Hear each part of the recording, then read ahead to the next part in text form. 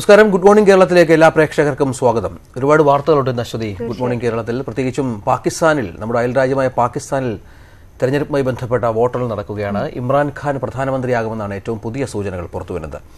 മറ്റൊരു വാർത്ത കേരള ക്രിക്കറ്റ് ടീമിൽ കലാപം. അവിടെ ക്യാപ്റ്റൻ സച്ചിൻ ബേബിക്കെതിരെ രംഗത്ത് വന്നിരിക്കുന്നു ടീമംഗങ്ങൾ. ആദ്യം നമുക്ക് പ്രധാന തലക്കെട്ടുകൾ കാണാം. നമുക്കാദ്യം പാകിസ്ഥാൻ തെരഞ്ഞെടുപ്പുമായി ബന്ധപ്പെട്ട വാർത്തയിലേക്ക് തന്നെ പോകാമെന്ന് കരുതുന്നു. പാകിസ്ഥാൻ പാർലമെന്റ് തെരഞ്ഞെടുപ്പിൽ ഇമ്രാൻഖാന്റെ പാകിസ്ഥാൻ തെഹരീഖ് ഇ ഇൻസാഫ് പാർട്ടി ഏറ്റവും വലിയ ഒറ്റകക്ഷിയായേക്കും ഔദ്യോഗിക ഫലപ്രഖ്യാപനം വൈകുന്നു. നാൽപ്പത്തിയേഴ് ശതമാനം പോളിംഗ് സ്റ്റേഷനിലെ വോട്ടെണ്ണൽ പൂർത്തിയായപ്പോൾ നൂറ്റി പതിമൂന്ന് സീറ്റുകൾ പി ടി ഐ മുന്നിട്ട് നിൽക്കുകയാണ്. പ്രധാന എതിരാളിയായ നവാസ് ഷെറീഫിന്റെ പാകിസ്ഥാൻ മുസ്ലിം ലീഗ് അറുപത്തിനാല് സീറ്റിലും ബിലാവൽ ഭൂട്ടോയുടെ പാകിസ്ഥാൻ പീപ്പിൾസ് പാർട്ടി നാൽപ്പത്തിമൂന്ന് സീറ്റിലും മുന്നിട്ട് നിൽക്കുന്നു. നൂറ്റി മുപ്പത്തിയേഴ് സീറ്റുകളാണ് കേവല ഭൂരിപക്ഷത്തിലെത്താൻ വേണ്ടത്. അതിനാൽ ഇമ്രാൻഖാന്റെ ഇനിയുള്ള രാഷ്ട്രീയ നീക്കങ്ങളും സൈന്യത്തിന്റെ നിലപാടും പാക് രാഷ്ട്രീയത്തിൽ ഏറെ നിർണായകമാകും. ആതിര സുധാകരൻ ചേരുകയാണ് ന്യൂസ് ഡെസ്കിൽ നിന്ന് ഏറ്റവും പുതിയ വിവരങ്ങളുമായി. അതിര ഈ ഫലപ്രഖ്യാപനം വൈകുന്നത് എന്തുകൊണ്ടാണ് തെരഞ്ഞെടുപ്പിൽ പട്ടാളത്തിന്റെ ഇടപെടലുണ്ട് എന്ന രീതിയിലുള്ള ആരോപണങ്ങൾ നേരത്തെ ഉണ്ടായിരുന്നു. അത് സ്ഥിരീകരിക്കുന്നതാണോ ഇപ്പോഴത്തെ ഈ ഫലം വൈകലുമായി ബന്ധപ്പെട്ട് വരുന്ന വാർത്തകൾ? ഇന്നലെ രാത്രിയോടെ വോട്ടെണ്ണൽ ആരംഭിച്ച് ഇത്ര സമയമായിട്ടും ഒരു ഔദ്യോഗിക ഫലപ്രഖ്യാപനം ഇതുവരെയും ഉണ്ടായിട്ടില്ല. ഇപ്പോൾ ലഭിക്കുന്ന വിവരം അനുസരിച്ച് രാജ്യത്തെ പ്രബല കക്ഷികളായ നവാസ് ഷെരീഫിന്റെ പാകിസ്ഥാൻ മുസ്ലിം ലീഗിന്റെയും പാകിസ്ഥാൻ പീപ്പിൾസ് പാർട്ടിയെയും പിന്തള്ളി ഇമ്രാൻഖാന്റെ പാർട്ടിയായ പാകിസ്ഥാൻ തെഹ്രീഖി ഇൻസാഫ് മുന്നിട്ട് നിൽക്കുന്നു. രാജ്യത്തെ ഏറ്റവും വലിയ ഒറ്റകക്ഷിയായി പി ടി മാറിയിരിക്കുന്നു എന്നതാണ് ഒടുവിലത്തെ ഫല സൂചനകൾ വരുന്നത്. ഔദ്യോഗികമായ പ്രഖ്യാപനം ഇതുവരെയും ഉണ്ടായിട്ടില്ല. സാങ്കേതികമായ തടസ്സമാണ് ഇലക്ഷൻ കമ്മീഷൻ ഇതിനൊരു വിശദീകരണമായിട്ട് നൽകിയിട്ടുള്ളത്. ഇപ്പോൾ ലഭിക്കുന്ന റിപ്പോർട്ട് പ്രകാരം ദേശീയ അസംബ്ലിയിലെ ഇരുന്നൂറ്റി എഴുപത്തിരണ്ട് സീറ്റുകളിൽ നൂറ്റി പതിമൂന്ന് ഇടത്ത് പി ടി ഐ ആണ് മുന്നിട്ട് നിൽക്കുന്നത്. പി എം എൽ അറുപത്തിനാല് സീറ്റുകളിലും പി പി പി നാൽപ്പത്തിമൂന്ന് സീറ്റുകളിലും മറ്റുള്ള പാർട്ടികൾ അൻപത്തിരണ്ട് സീറ്റുകളിലും മുന്നിട്ട് നിൽക്കുന്നു. കേവല ഭൂരിപക്ഷത്തിൽ നൂറ്റി മുപ്പത്തിയേഴ് സീറ്റുകളാണ് വേണ്ടത്. കേവല ഭൂരിപക്ഷം ഇല്ലാത്ത ഒരു സാഹചര്യത്തിൽ തൂക്കസഭയ്ക്കുള്ള എല്ലാ സാധ്യതകളുമാണ് ഇപ്പോൾ പാകിസ്ഥാനിൽ നമുക്ക് കാണാൻ സാധിക്കുന്നത്. പഞ്ചാബ് പ്രവിശ്യയിൽ നോക്കുകയാണെങ്കിൽ പഞ്ചാബ് പ്രവിശ്യയിൽ നൂറ്റി മുപ്പത്തിരണ്ട് സീറ്റുകളിൽ പി എം എൽ ആണ് മുന്നിട്ട് നിൽക്കുന്നത്. പി ടി ഐ നൂറ്റി ഇരുപത്തിയൊന്ന് സീറ്റുകളിൽ തൊട്ട് പിന്നിലായി നിൽക്കുന്നു. സിന്ധിൽ പി പി പി ആണ് പാകിസ്ഥാൻ പീപ്പിൾസ് പാർട്ടിയാണ് സിന്ധിൽ എഴുപത്തിമൂന്ന് സീറ്റുകളിൽ ലീഡ് ചെയ്യുന്നത്. പി ടി ഐ തൊട്ടു പിന്നിൽ ഇരുപത്തിമൂന്ന് സീറ്റുകളിലായി പി ടി ഐ രണ്ടാം സ്ഥാനത്ത് ലീഡ് ചെയ്യുന്നു. ബലൂചിസ്ഥാനിൽ ബലൂചിസ്ഥാൻ അവാമി പാർട്ടിയാണ് മുന്നിട്ട് നിൽക്കുന്നത്. പതിനാല് സീറ്റുകളിൽ ബലൂചിസ്ഥാൻ നാഷണൽ പാർട്ടി ഒൻപത് സീറ്റുകളിൽ തൊട്ടു പിന്നിലായി നിൽക്കുന്നു. ബ- P T I chairman Imran Khan എണ്ണായിരത്തി മുപ്പത്തി മൂന്ന് വോട്ടുകൾക്ക് ലാഹോറിൽ മുന്നിട്ട് നിൽക്കുന്നു എന്ന ഒരു വിവരമാണ് അവസാനമായി നമുക്ക് ലഭിക്കുന്നത്. ആദ്യ ഫലസൂചനകളെല്ലാം തന്നെ പി ടി ഐക്ക് അനുകൂലമായിട്ടാണ് വന്നിട്ടുള്ളത്. ഏറ്റവും വോട്ട് എണ്ണി തുടങ്ങി തുടക്കം മുതൽ തന്നെ പി ടി ഐ ആണ് വ്യക്തമായ ഒരു ലീഡ് നേടിക്കൊണ്ടിരിക്കുന്നത്. അപ്പോൾ തന്നെ പി ടി ഐ ക്യാമ്പുകളിൽ ആഹ്ലാദ പ്രകടനങ്ങളും തുടങ്ങിയിരുന്നു. പി ടി ഐ ഏറ്റവും വലിയ ഒരു ഒറ്റകക്ഷിയായി മാറുന്ന ഒരു സാഹചര്യം ഉണ്ടായ സ്ഥിതിക്ക് ഇമ്രാൻഖാനാണ് പ്രധാനമന്ത്രി സ്ഥാന പ്രധാനമന്ത്രിയായ ഒരു സാധ്യത കൽപ്പിക്കപ്പെടുന്നത്. സൈന്യത്തിന്റെ പിന്തുണയുള്ളതും ഇമ്രാഖാൻ തന്നെയാണ്. ഏറ്റവും കേവല ഭൂരിപക്ഷം ലഭിച്ചില്ല എങ്കിൽ തീർച്ചയായിട്ടും ഭരണത്തിൽ സൈന്യത്തിന്റെ ഒരു ചരടുവലി കൂടി പ്രതീക്ഷിക്കേണ്ടി വരും. ആ ഒരു സാധ്യത സാധ്യതയാണ് ഇപ്പോഴത്തെ ഒരു റിപ്പോർട്ട് പ്രകാരം നമുക്ക് മനസ്സിലാക്കാനായിട്ട് സാധിക്കുന്നത്. മുസ്ലിം ലീഗ് പാകിസ്ഥാൻ മുസ്ലിം ലീഗ് പ്രധാനമായിട്ടും ഈ തെരഞ്ഞെടുപ്പിൽ ഒരു വ്യാപക അട്ടിമറി ആരോപിച്ചിരുന്നു. അത്തരത്തിലുള്ള സൈന്യത്തിന്റെ നേതൃത്വത്തിൽ ഒരു ക്രമക്കേട് നടത്താൻ നടത്തിയിരുന്നു എന്ന ഒരു ആരോപണം തുടക്കം മുതൽ തന്നെ ഉണ്ടായിരുന്നു. എന്നാൽ ഇലക്ഷൻ കമ്മീഷൻ ഇത്തരത്തിലുള്ള എല്ലാ ആരോപണങ്ങളെയും പിന്തള്ളി ഏറ്റവും സത്യസന്ധവും സുതാര്യവുമായ ഒരു തെരഞ്ഞെടുപ്പാണ് ഇത്തവണ നടന്നത് എന്ന ഒരു നിലപാട് ഒരു വിശദീകരണമാണ് തെരഞ്ഞെടുപ്പ് കമ്മീഷൻ നടത്തിയത്. പി പി പിയും തെരഞ്ഞെടുപ്പിൽ ക്രമക്കേട് നടത്തി സൈന്യത്തിന്റെ ഇടപെടൽ ഉണ്ടായി എന്ന ഒരു ആരോപണം ഉന്നയിച്ചിരുന്നു. കഴിഞ്ഞ വർഷം അതിശക്തമായ ഒരു ത്രികോണ മത്സരം കാഴ്ചവെച്ച ഒരു പാർട്ടിയായിരുന്നു ബി ടി ഐ. പക്ഷേ മൂന്നാം സ്ഥാനത്തേക്ക് കഴിഞ്ഞ വർഷം പിന്തള്ളപ്പെട്ട പി ടി ഐയുടെ ഒരു വൻ മുന്നേറ്റമാണ് ഈ തെരഞ്ഞെടുപ്പിൽ ഉണ്ടായിരിക്കുന്നത്. ഏറ്റവും വലിയ പാകിസ്ഥാനിലെ രാഷ്ട്രീയ ചരിത്രത്തിലെ ഏറ്റവും പ്രബല കക്ഷികളായ രണ്ട് പാർട്ടികളെ പി എം എല്ലിന്റെയും പി പി പി ഐയും പിന്തള്ളി ഏറ്റവും വലിയ ഒരു മുന്നേറ്റം കാഴ്ചവെക്കാൻ ഇമ്രാൻഖാന്റെ നേതൃത്വത്തിലുള്ള പി ടി ഐക്ക് സാധിച്ചിട്ടുണ്ട്.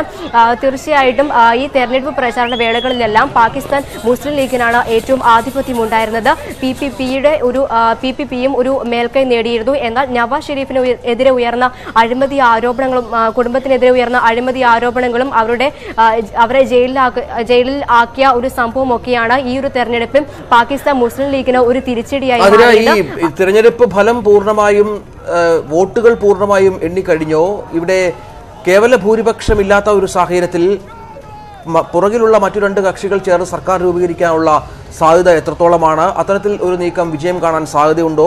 അവിടെയും ഒരുപക്ഷെ സൈന്യത്തിന്റെ ഇടപെടൽ ഉണ്ടായേക്കുമോ?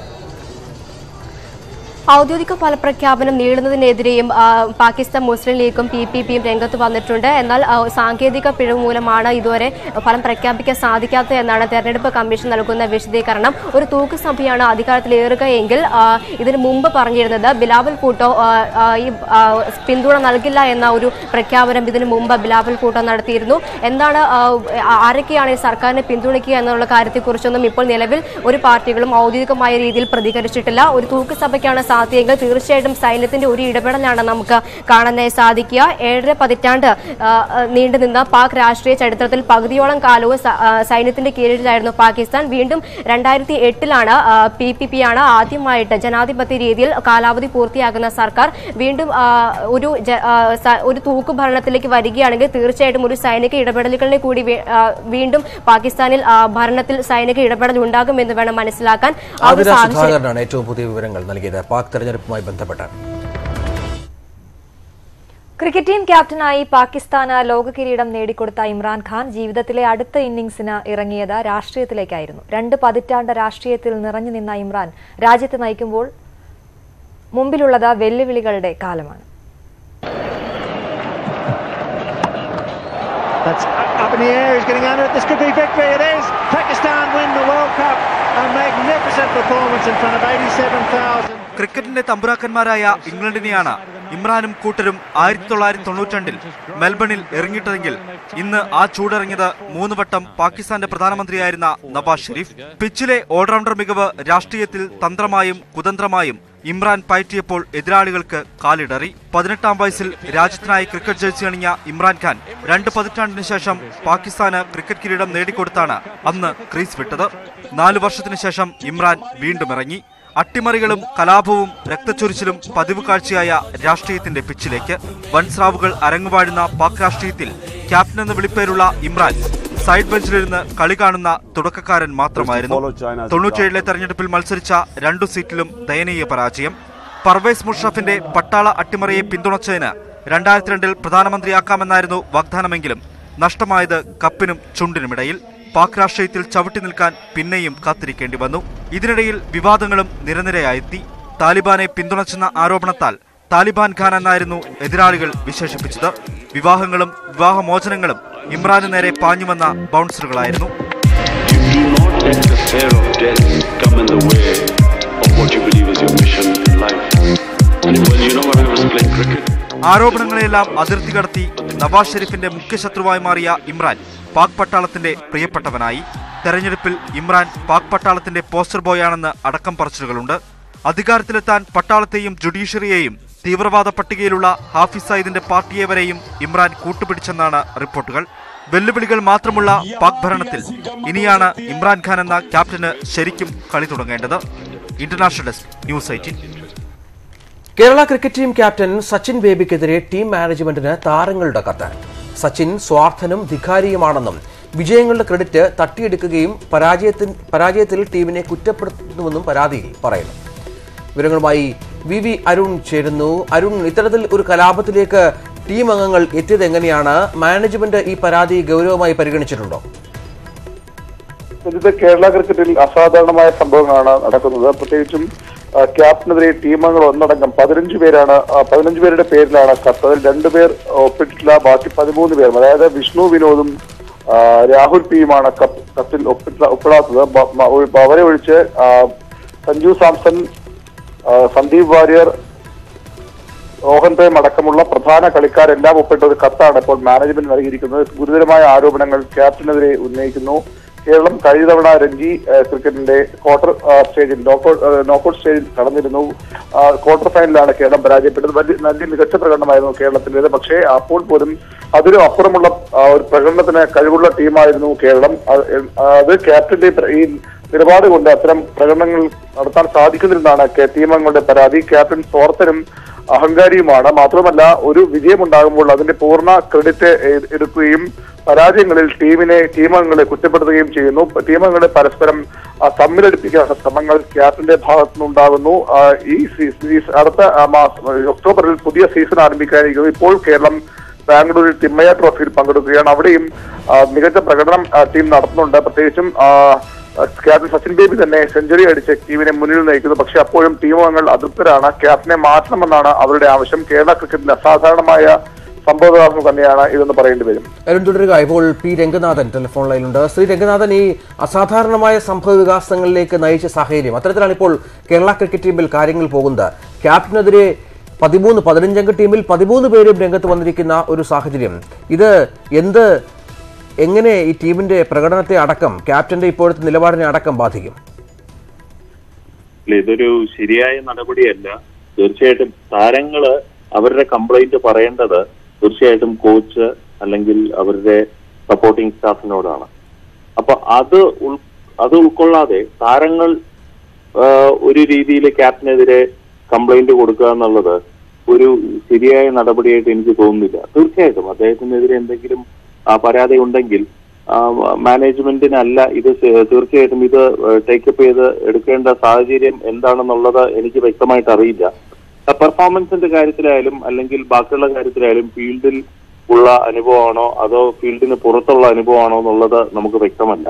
ഇപ്പൊ ഫീൽഡിൽ ഒരു താരത്തിന്റെ പെർഫോമൻസ് വളരെ നിർണായകമാണ്. അത് ക്യാപ്റ്റൻ ഏത് ക്യാപ്റ്റനായാലും ടീമിനെ വിജയത്തിലോട്ട് എത്തിക്കാനായിട്ട് എല്ലാ താരങ്ങളുടെയും പൂർണമായിട്ടുള്ള പിന്തുണ നേടേണ്ട ഒരു സാഹചര്യമുണ്ട്. ഉദാഹരണത്തിന് വിരാട് കോഹ്ലി ആയാലും വിരാട് കോഹ്ലിയുടെ പല പ്രവൃത്തികളും ഒരുപക്ഷെ മറ്റുള്ള താരങ്ങൾക്ക് ഇഷ്ടപ്പെട്ടെന്നിരിക്കില്ല. കാരണം അദ്ദേഹത്തിന്റെ ഓവർ റിയാക്ഷൻ ആയിരിക്കും അതിന് ഉദാഹരണം. അങ്ങനെയുള്ള ഒരു സാഹചര്യമാണോ ഉണ്ടായതെന്നുള്ളത് നമുക്ക് വ്യക്തമല്ല. എങ്കിൽ തന്നെയും തീർച്ചയായിട്ടും ഇന്നിപ്പോ ഡേവ് വാട്ട്മോറിനൊപ്പരെയുള്ള ഒരു കോച്ച് അല്ലെങ്കിൽ ഏറ്റവും മുന്നിൽ നിന്ന് ടീമിനെ കൊണ്ടുപോകുന്ന ഒരു പരിശീലകൻ അദ്ദേഹത്തിന് പൂർണമായിട്ടും ഒരു വ്യക്തത കാണും എങ്ങനെയാണ് സച്ചിൻ ബേബി ടീമിനെ നയിക്കുന്നത് അല്ലെങ്കിൽ ടീമുകളുമായിട്ടുള്ള ടീം അംഗങ്ങളുമായിട്ടുള്ള ഇടപെടലുകൾ അങ്ങനെ എങ്ങനെയാണ് ചെയ്യുന്നത് എന്നുള്ളത്. അപ്പോൾ പൂർണമായിട്ടും കോച്ചിന്റെ ഒരു റിപ്പോർട്ട് കിട്ടിയതിനു ശേഷം മാത്രമേ എനിക്ക് ഇതിനെപ്പറ്റി വ്യക്തമായിട്ട് ഒരു മറുപടി പറയാൻ സാധിക്കുകയുള്ളൂ.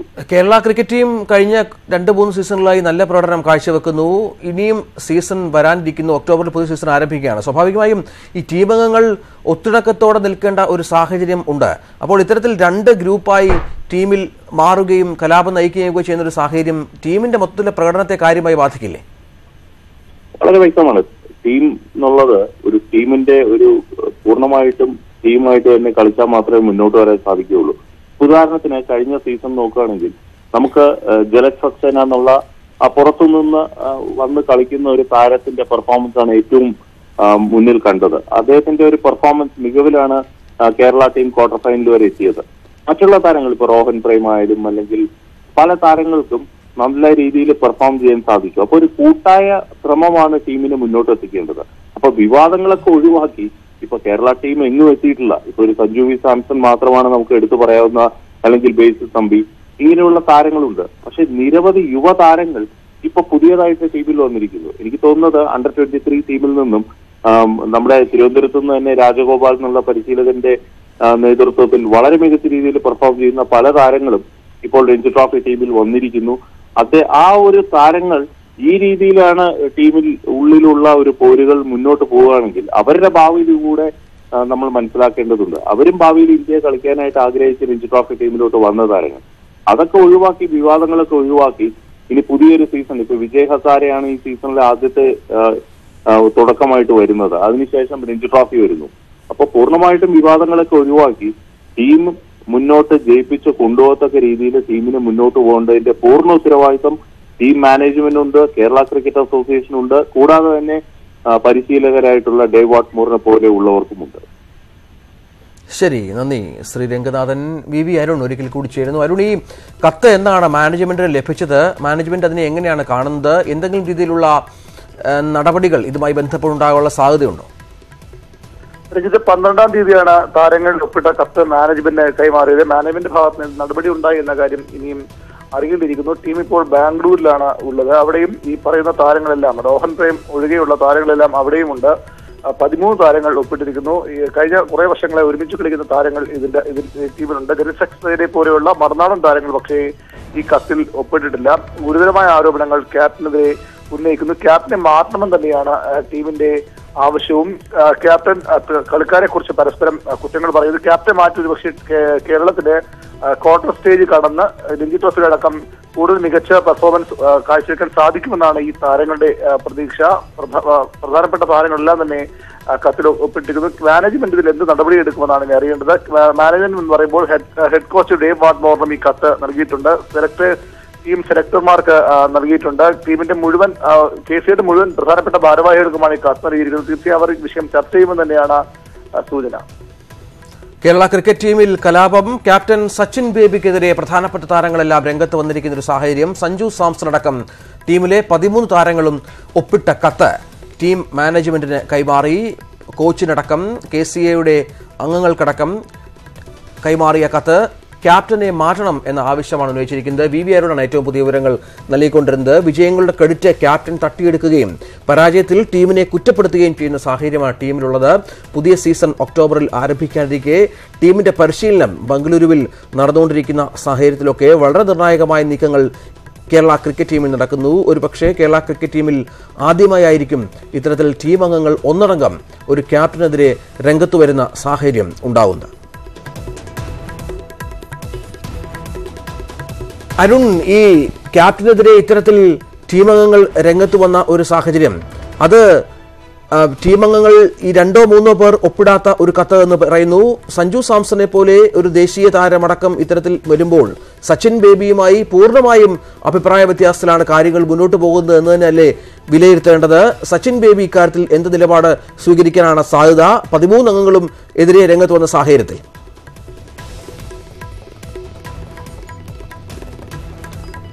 അരുൺ ടെലിഫോൺ ലൈനിലില്ല. ഏതായാലും വലിയ നിർണായകമായ വാർത്ത തന്നെ പുറത്തുവിടുകയാണ്. സച്ചിൻ ബേബിക്കെതിരെ ടീം അംഗങ്ങൾ രംഗത്ത് വന്നിരിക്കുന്നു. കേരള ക്രിക്കറ്റ് ടീമിൽ കലാപം.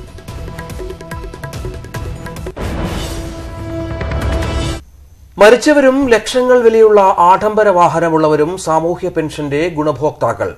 മരിച്ച അൻപതിനായിരത്തിലധികം പേരുടെ പെൻഷൻ ബന്ധുക്കൾ ഒപ്പിട്ട് വാങ്ങുന്നുവെന്നാണ് കണക്കുകൾ.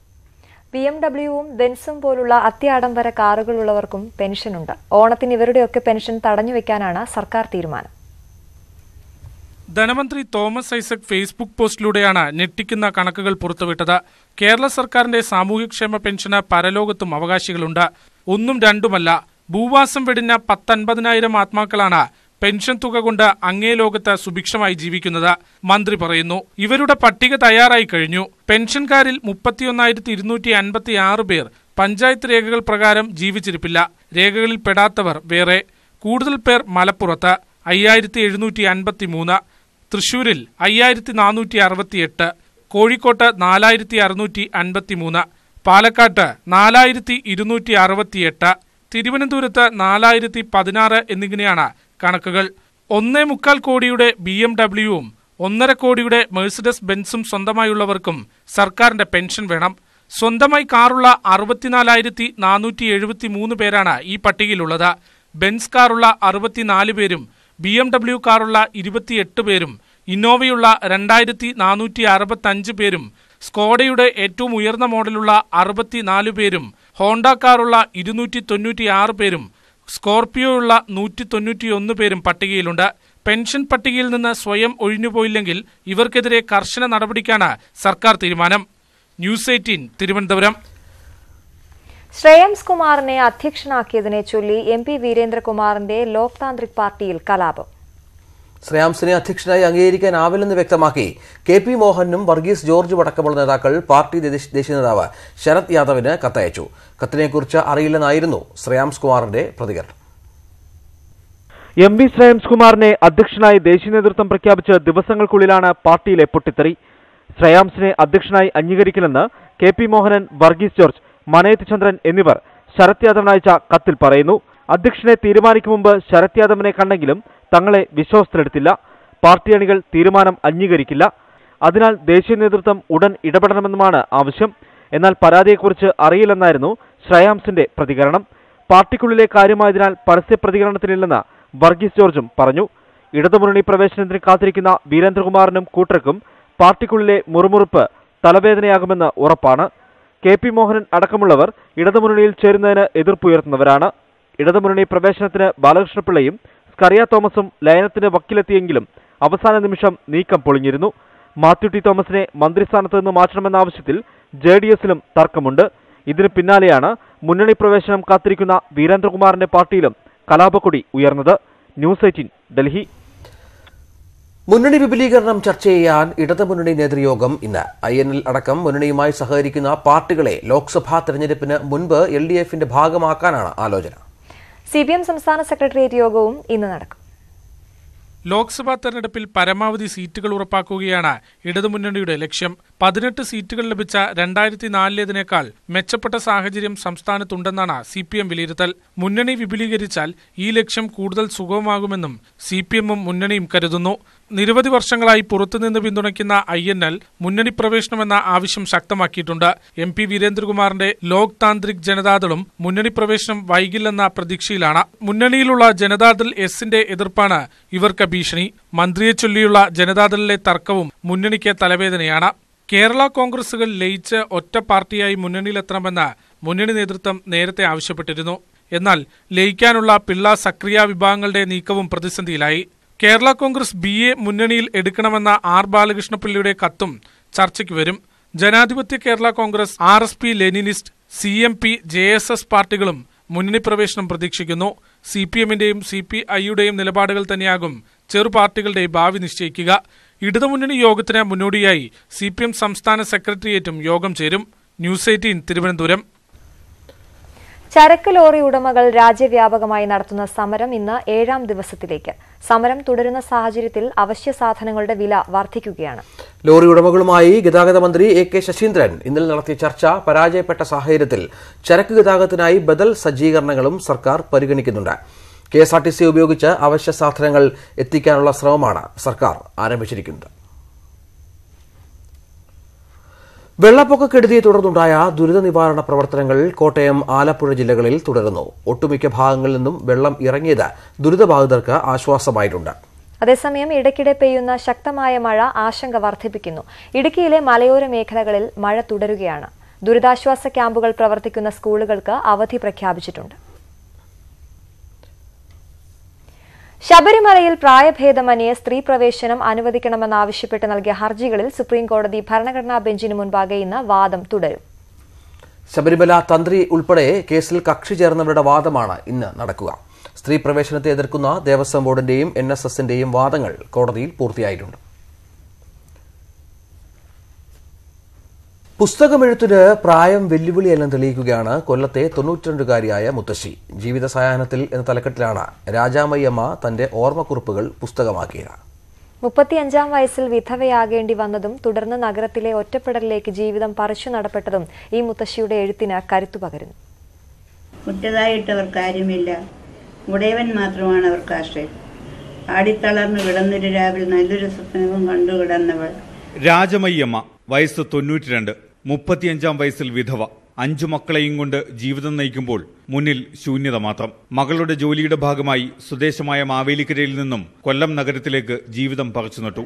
സദാ പരസ്പര സംവേദനം സാധ്യമായിരുന്ന ഗ്രാമത്തിൽ നിന്നും പരസ്പരം ആർക്കും ഒന്നും പറയാനില്ലാത്ത നഗരത്തിലൊരു വീട്ടിൽ ജീവിതം തുടങ്ങിയപ്പോൾ ഏകാന്തത മാത്രമായി കൂട്ട്. അതിന് പ്രതിവിധിയായാണ് രാജമയ്യമ്മ എഴുത്തിലേക്ക് വഴിമാറിയത്. എന്റെ സമയം പോകുന്നതിന് ശാരീരികമായിട്ട് ഒരുപാട് അസ്വസ്ഥതകളുണ്ട്. ഉറക്കം കുറവാണ്. അന്നേരം ഓരോരോ സന്ദർഭങ്ങളിൽ എനിക്ക് തോന്നുന്ന വളരെ എനിക്ക് വളരെ ആശ്വാസമാണ്. മനസ്സിലുള്ളത് എഴുതി പുസ്തകമാക്കി മാറ്റി. അതിൽ അനുഭവങ്ങളും അഭിപ്രായങ്ങളുമുണ്ട് പ്രായാധിക്യം എഴുത്തിനെ ബാധിക്കുമോ എന്ന ആശങ്ക അസ്ഥാനത്താക്കി ഒടുവിൽ പുസ്തകം തയ്യാറായി. ആത്മകഥാംശമുള്ളതിനാൽ ജീവിത സായാഹ്നത്തിൽ എന്നാണ് പുസ്തകത്തിന് നൽകിയ തലക്കെട്ട്. വീട്ടമ്മയുടെ ഓർമ്മക്കുറിപ്പുകൾ എന്ന രീതിയിൽ തയ്യാറാക്കിയ പുസ്തകം ആലുവ സ്നേഹഭൂമിയാണ് പ്രസിദ്ധീകരിച്ചത്. News eighteen Kollam.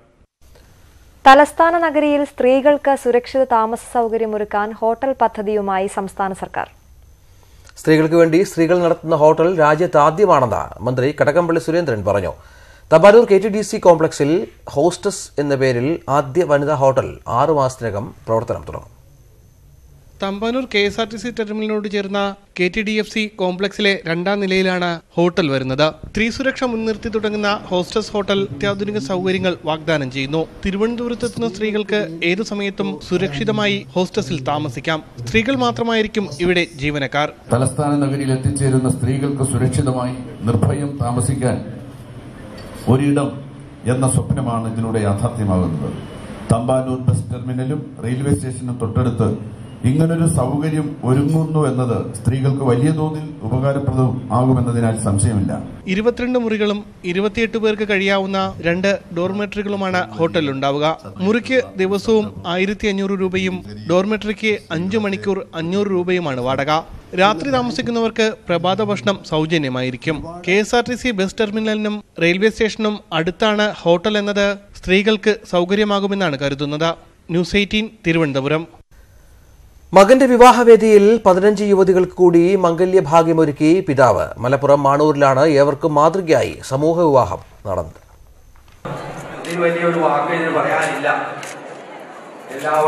വ്യവസായിയും ജീവകാരുണ്യ പ്രവർത്തകനുമായ സി പി അലിബാവ ഹാജിയുടെ മകൻ തുഫൈലിന്റെ വിവാഹവേദിയിലാണ് പതിനഞ്ച് നിർധന യുവതികൾക്ക് മാംഗല്യമൊരുങ്ങിയത്. പത്ത് പവൻ സ്വർണാഭരണവും ഇരുപത്തി അയ്യായിരം രൂപയും നവവധുക്കൾക്ക് സമ്മാനമായി നൽകി. മന്ത്രി കെ ടി ജലീൽ ഉൾപ്പെടെ നിരവധി പേർ ആശംസകൾ അർപ്പിക്കാൻ എത്തിയിരുന്നു. രണ്ട് ജാർഖണ്ഡ് യുവതികളുടേതുൾപ്പെടെയുള്ള വിവാഹ ചടങ്ങുകൾ മതസൗഹാർദ്ദത്തിന്റെയും വേദിയായി. പാണക്കാട് സാദിഖലി ശിയാബ്ദങ്ങളും ടി കെ കൃഷ്ണൻ നമ്പൂതിരിപ്പാടും ചടങ്ങുകൾക്ക് കാർമ്മികത്വം വഹിച്ചു. കോഴിക്കോട് സ്വദേശിയായ വ്യവസായി ഇക്ബാലിന്റെ മകൾ ഫാത്തിമയെയാണ് തുഫയിൽ ജീവിത പങ്കാളിയാക്കിയത് ന്യൂസ് എയ്റ്റീൻ മലപ്പുറം.